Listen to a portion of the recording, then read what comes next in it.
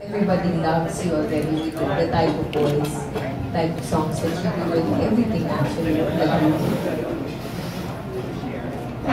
Ako naman, ah, music ko naman ever since is pa mga ano talaga, hindi naman talaga ako nakikinig masyado ng bago. Siyempre, depende rin kung maganda yung music na bago.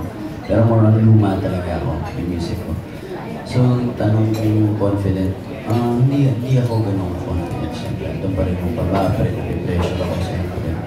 Eh, hindi naman ako pumasok sa music ko parang ano yun, maging concert king eh. so medyo bago pa rin sa akin lahat. Tuwing nagko-concert ako live, may pressure pa rin ako, kinakabahan pa rin ako. So,